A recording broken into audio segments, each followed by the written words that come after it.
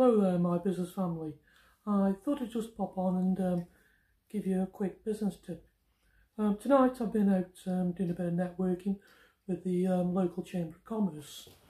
And basically I had a very interesting conversation with an individual. And basically it was about marketing strategy. And basically what he was saying to me is, you know, with your marketing strategy, you have to be clear, you have to be precise, and you have to be targeted where you are aiming your message.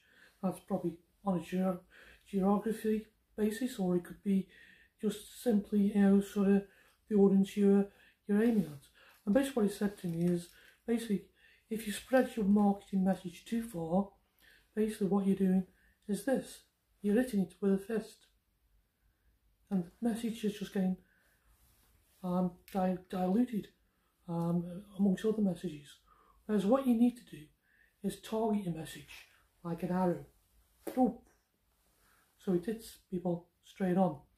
It needs to be a clear message and that message needs to be targeted at that individual.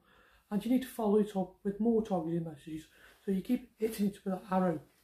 And obviously, eventually the message will get through. Those people will connect with you and they will become your future clients.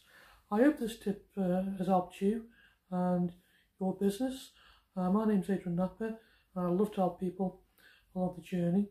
And one of the things I do as an estate agent, I support other estate agents to start their business with the XP self-employed model. So if that's you, give us a call, message me, love to have a chat and help you on your journey if you're an estate agent. But like I say, I tend to give out general business messages that can help anybody in business in general because at the end of the day, I want to support you to succeed in life and succeed in your business to be the very best.